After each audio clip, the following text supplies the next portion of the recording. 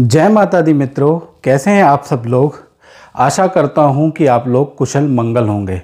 और स्वागत है मेरे YouTube चैनल एस्ट्रोवाज में। मित्रों, इस कार्यक्रम में हम चर्चा करेंगे कि 30 नवंबर 2020 में उपछाया चंद्र ग्रहण के योग बन रहे हैं।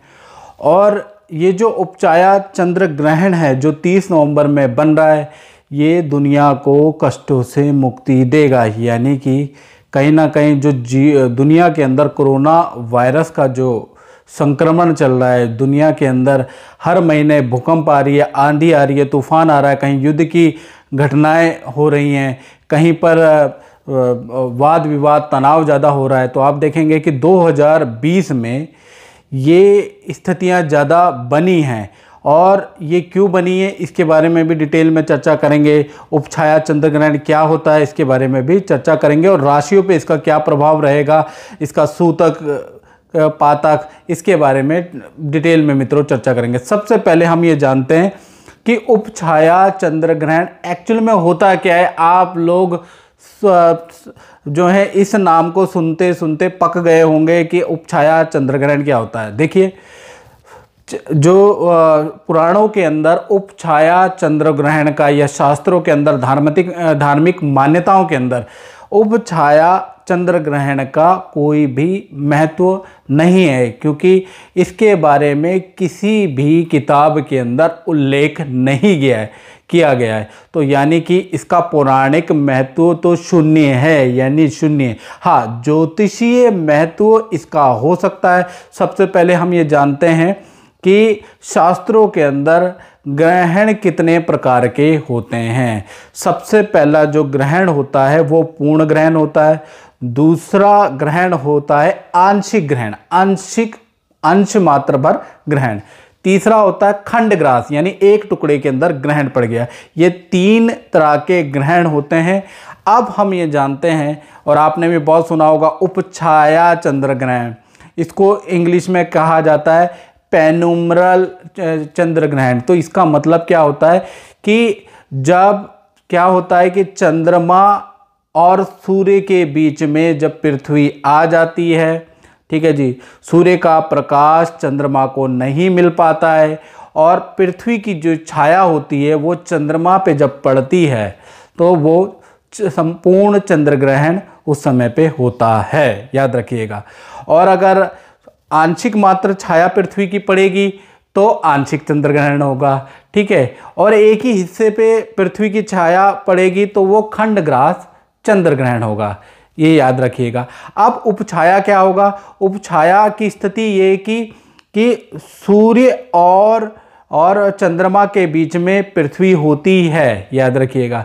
लेकिन जो उसकी छाया है वो कहीं ना कहीं चंद्रमा पे नहीं पड़ती है, उसकी छाया की भी उपछाया चंद्रमा पे पड़ती है, यानी छाया भी नहीं पड़ती है, उसकी उपछाया पड़ती है, जिस कारण से जो चंद्रमा होता है, वो पूर्ण ब्लैक नहीं होता, पूर्ण ऐसा नहीं लगता कि उस पर कोई दाग आ गया है, वो थोड़ा सा लालिमा या धुंधला सा, हल्का फुल्का धुंधला सा हो जाता है, इसलिए उसको उपछाया चंद्र ग्रहण कहते हैं। अब ज्योतिषीय ज्योतिष की गणना के अनुसार जब ग्रह सीध के अंदर होते हैं तो उसका बड़ा महत्व होता है, याद रखिएगा। हाँ धार्मिक मान्यता के अनुसार उसका कोई महत्व नहीं है। हमारे पुराणों के अंदर उपछाया चंद्रमा ग्रहण का कोई प्रभाव नहीं है। लेकिन ज्योतिषीय अगर हम देखा जाए शास्त्रों के अनुसार, जब ग्रह, सूर्य, चंद्रमा, पृथ्वी एक ही सीध के अंदर होते हैं तो उसका एक महत्व होता है। कितने परसेंट महत्व होता है, उसके बारे में भी हम इस कार्यक्रम में चर्चा करेंगे। तो सबसे पहले जैसे मैंने आपको बोला है, और इस कार्यक्रम में बताऊँगा कि ये जो चंद्र ग्रहण है, इसका संसार के कष्टों से क्या लेना देना है, इसके बारे में हम प्रोग्राम में बात करेंगे। देखिए, जैसा कि आपने विगत पिछले साल में देखा होगा, मैं पिछले साल यानी फ्लैशबैक में जाऊँगा, तब मैं आपको बताऊँगा, क्योंकि शास्त्रों के अंदर लिखा है कि एक पक्ष के अंदर दो ग्रहण होते हैं। तो कहीं ना कहीं दुनिया में कष्ट आता है या कष्टों से उसकी मुक्ति होती है क्योंकि माइनस माइनस प्लस होता है याद रखिएगा। ये एक थ्योरी है ये आप जानते ही होंगे। तो इसी प्रकार से एक पक्ष के अंदर दो ग्रहण अगर आ जाते हैं पक्ष होता है पंद्रह दिन का या शास्त्रों के अंदर वराह महीर संहिता है उसके अंदर ये भी लिखा है कि तीस दिन के अंदर दो ग्रहण तीन ग्रहण आ जाते हैं उसके क्या इफ़ेक्ट होते हैं? आप वराह महीर की, की किताब लेके आप उसको पढ़ सकते हैं, आपको समझ में आ जाएगा। अब क्या है कि इसमें जो महत्वपूर्ण बात है कि पंद्रह दिन के अंदर दो ग्रहण होते हैं तो दुनिया में किसी ना किसी तरह का संक्रमण, ये मैं किताब में से पढ़ के ही बता रहा हूँ, संक्रमण की दिक्कत होती है, दुनिया के अंदर तनाव होता है, टेंशन होती है, भूकंप ज़्यादा आते हैं तो ऐसी स्थितियाँ वरहा वरहा मिहिर ने ज़िक्र की थी। अब ये ज़िक्र जो है, अगर हम फ्लैशबैक में जाएँ तो 26 दिसंबर 2019 को पहला पड़ा था सूर्य ग्रहण और उसके उसके मात्र पंद्रह दिन के अंदर ही 10 जनवरी 2020 को पड़ा था उपछाया चंद्र ग्रहण जिसके बाद, जिसके एक आध दो दो महीने बाद कोरोना भर गया। यानी देश में अशांति हो गई, युद्ध के माहौल हो गए। आपने देखा होगा कि मार्च के बाद से जो स्थितियाँ बन रही है, संसार के अंदर आपने देखा ही होगा कि भूकंप आया। ठीक है जी, कोरोना फैल गया, लाखों की लोगों की मृत्यु हो गई। आप देख ही रहे हैं। और हिंसा की दिक्कत हो गई। आर्थिक संरचना, आर्थिक ढांचा बिल्कुल ढह गया। तो कुल मिला के ये जो दो ग्रहण एक पक्ष के अंदर आए, ऐसा मेरा मानना है। ये मैं खुद मान रहा हूँ, इसके मैं मैं किसी को दावा नहीं करता कि ये मेरा मानना है कि इस वजह से ये चीज़ हुई। अब क्या होगा कि जो इस समय पे 30 नवंबर 2020 में पहला उपछाया चंद्र ग्रहण बन रहा है। फिर 14 दिसंबर 2020 को खंडग्रास, यानी कि ये रियल सूर्य ग्रहण है सूर्य ग्रहण बन रहा है। यानी एक पक्ष के अंदर दो ग्रहण बन रहे हैं और ज्योतिष के अनुसार माइनस माइनस प्लस होता है। यानी कि 15 दिसंबर के बाद जब ये दो, एक पक्ष में दो ग्रहण आ जाएँगे, इसके बाद दो महीने के अंदर अंदर कोरोना की समाप्ति हो जाएगी। कोरोना इस वर्ड से गायब हो जाएगा, क्योंकि जब ये फ्लैशबैक में जाए तो जो कोरोना जो बढ़ा है वो फरवरी, मार्च से ही बढ़ा है तो ख़त्म भी फरवरी, मार्च से ही होगा। और सबसे बड़ा कॉम्बिनेशन भी तो देखिएगा कि 30 नवंबर से दिसंबर में ही इसकी शुरुआत हुई। ठीक है जी? मतलब दिसंबर के महीने में ही शुरुआत हुई और दिसंबर के महीने से ही अंत की क्या प्रकृति का कोइंसिडेंस है?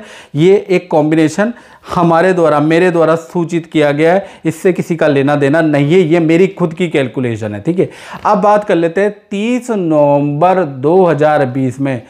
यानी वृषभ राशि, रोहिणी नक्षत्र के अंदर, जो ये ग्रहण लगने जा रहा है, इसको ग्रहण भी नहीं कह सकते मित्रों, ये उप छाया चंद्र ग्रहण है। यानी छाया की भी छाया का चंद्र ग्रहण है।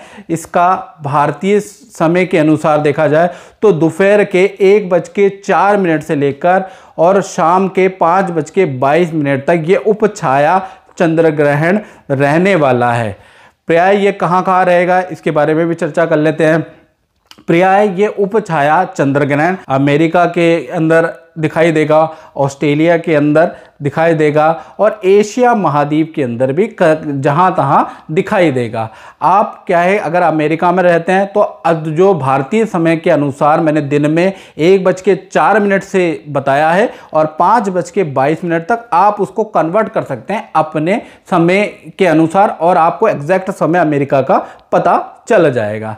अब बात कर लेते हैं कि सूतक के बारे में। देखिए, ये उपछाया चंद्र ग्रहण है, यानी छाया की भी उपछाया है तो इसका कोई धार्मिक महत्व नहीं है, पहले ही बता देता हूँ, और इसका कोई सूतक काल है ही नहीं है, याद रखिएगा। इसका ज्योतिषीय इफ़ेक्ट हो सकता है, उसके बारे में भी मैं चर्चा कर लेता हूँ। देखिए, अगर ज्योतिषीय इफ़ेक्ट के बारे में कहें तो इसका जो है, क्योंकि उस समय पे देखा जाए तो जिस समय पे ये ग्रहण लगेगा तो मीन लगन उदित होगा, मंगल जो है लगनगत होंगे, चंद्रमा जो वृषभ राशि के अंदर होंगे, और चंद्रमा और राहु दोनों के दोनों तृतीय स्थान के अंदर होंगे और भाग्य स्थान पे उनकी दृष्टि होगी। सूर्य, बुध और केतु भाग्य स्थान में विराजमान होंगे। शनि और गुरु लाभ स्थान के अंदर विराजमान होंगे। शुक्र जो है अपनी स्वराशि के अंदर होंगे, यानी कि ये ग्रह की स्थिति बन रही है।